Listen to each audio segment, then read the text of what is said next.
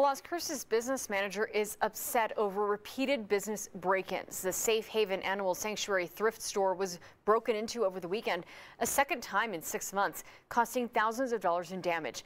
And it's a trend that ABC7 learned has become common among what's called the El Paseo Corridor, a one-mile business strip in the south center of the city stretching from South Main Street to Boutz Road. Business owners along that strip of stores say they have been victimized and are frustrated.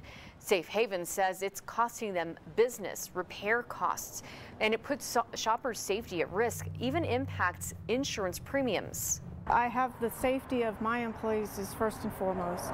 Um, we're mostly female at the store here.